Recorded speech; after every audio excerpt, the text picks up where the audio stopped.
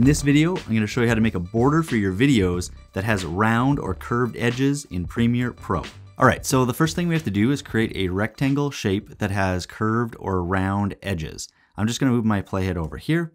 So to start, we just have to go to our Essential Graphics panel right here. If you don't see it, go up to Window and then down to Essential Graphics.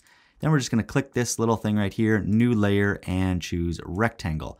That's going to put a little gray rectangle right here, and your graphic will appear on your timeline right there.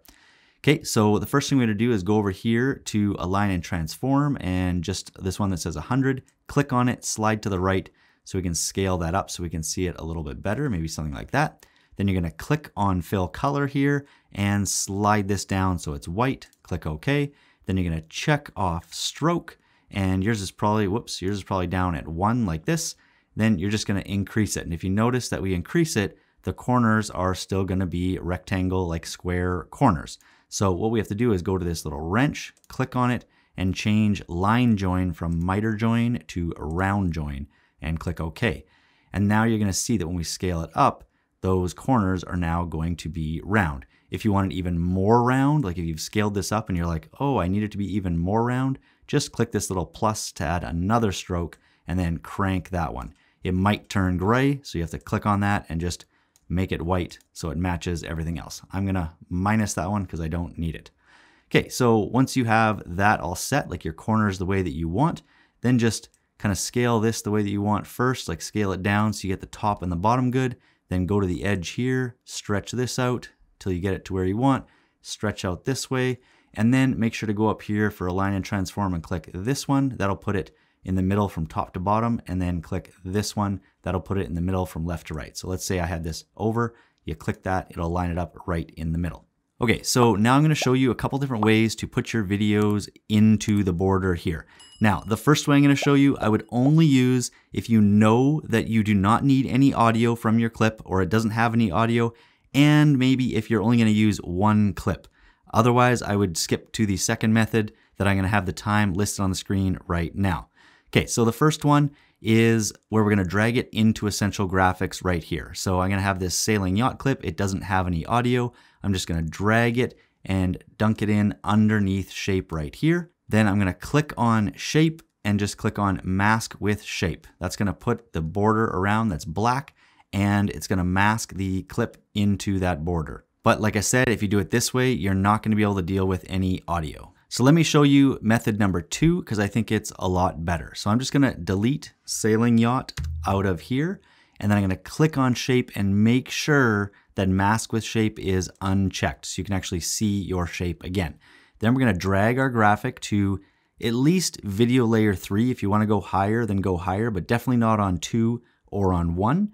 Then we're gonna go get a new clip. So I'm gonna pick this waterfalls clip this time because it has video and audio. I'm just gonna click on here and drag it to layer two. You wanna go to video layer two and avoid layer one for now.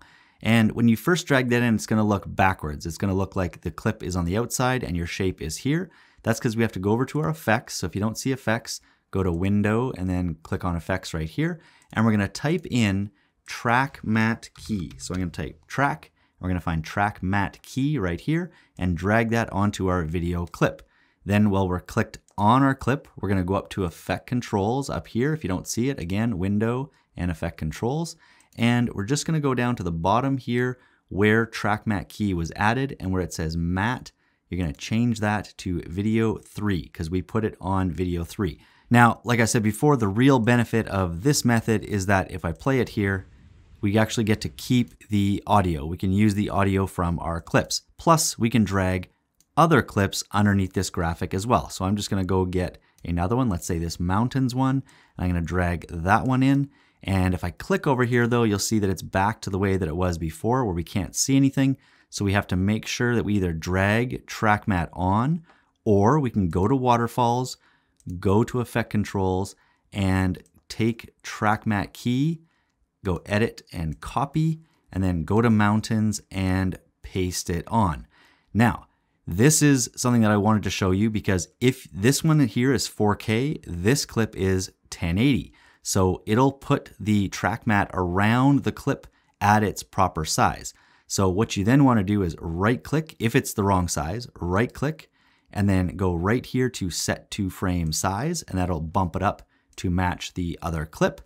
And then another little trick you can do is if I go over here uh, and you type in transform and drag this one right here under distort, transform on mountains, let's say. You have to make sure though that it's above, like so see how track matte key is here and then transform is below it. Drag it above track matte key and then we can use this scale here if you want to scale things up or down within the border there, which means you can actually animate it if you want to. So I click toggle animation here at 142%, and then maybe I go ahead here, put another keyframe, and then put this back to 100. Then I can just move these keyframes to the start and the end. And now when we watch this clip, it's actually gonna animate, like even creates like a little parallax effect within there because of the way that clip was filmed. All right, so now let's take a look over here at the different types of borders that we can create by using this method as well. So this one right here is just a color background. So if you wanna do that, I'm just gonna delete that out of there. If you wanna make that one, all you have to do is go over here and click on this thing right here, new item, and then go up to color matte, then just click OK. And then when the color picker comes up, you can either try and pick a color or pick whichever color you want yourself. So I'm just gonna pick kind of a dark like green here that might match this, uh, this footage right here. So click OK, and I'm gonna call this green, OK, and then it's gonna pop into my project files here. So you can just drag it in, and then now it's gonna be the what the border is around it. Okay, next we have, maybe you wanna bring in just a random image so to put behind it. So I'm gonna delete this one out and go find that 50 beautiful right here.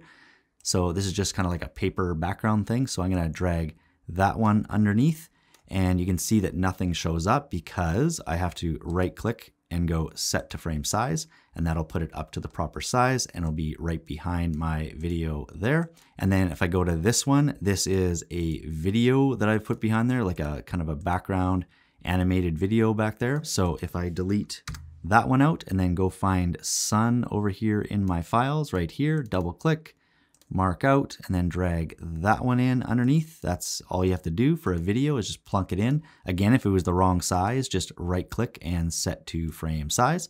And then for this last one, I've just created a border of the exact same video clip here. So to do that, I'm gonna delete that one out. I'm just gonna click on this one and then hold Alt or Option on a Mac and drag this down. So if you want it to be the same, like the border being the same video clip, that's all you do is drag it down.